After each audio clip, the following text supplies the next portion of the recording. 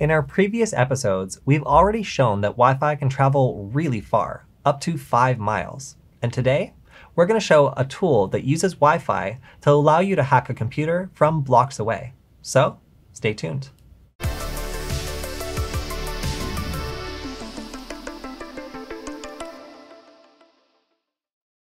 The USB rubber ducky is a particularly famous hacker device, which when plugged into a computer looks like a USB flash drive, but acts as a keyboard. Now, when the computer thinks it's a keyboard, it's allowed to run commands that ordinarily would be blocked by any sort of program, because a user is trusted and keyboards are generally how we interact with the computer, so it's a really good way of attacking a computer you have temporary access to. Now, the USB rubber ducky is amazing, but it does have some drawbacks. And one of those drawbacks is you have to program it in advance, and if you don't know exactly what commands you want to run, this can be a serious problem because it's just a one-way device. It only goes in one direction.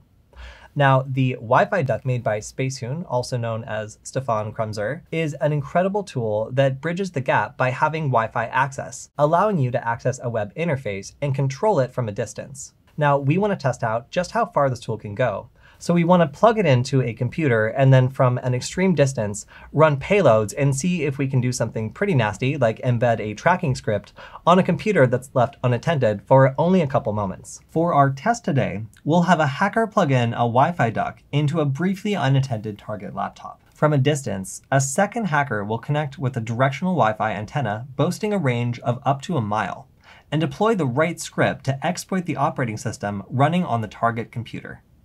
After the hacker plants a backdoor using the Wi-Fi duck, it can be unplugged, and the hacker can control the victim laptop directly.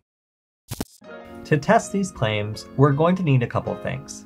First, we'll need a D1 Mini and a Pro Micro, the two microcontrollers we'll be using to program this attack. We're going to solder these together on a circuit board to fit everything together nicely, although a breadboard should work too in a pinch.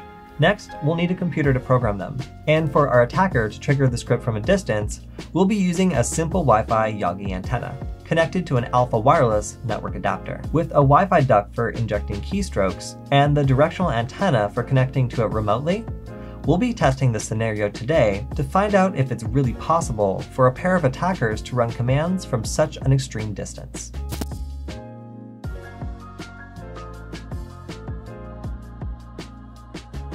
When the victim in our test scenario leaves their laptop unattended, the first attacker can send information to the second attacker about what script to run based on the laptop's operating system and anything else they notice about the system.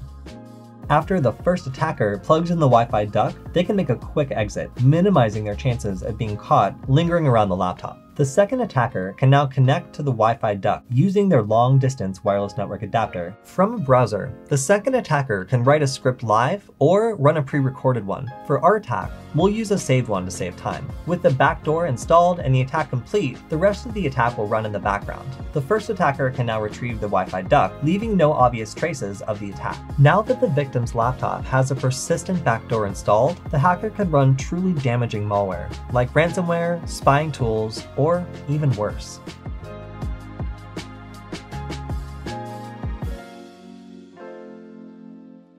As our test was able to verify, a hacker could implant a Wi-Fi duck and send commands from a very long distance away. Now, in a business with a bunch of USB drives that might be in places that aren't frequently checked, a Wi-Fi duck could represent a serious security threat that might not be noticed for a substantial amount of time.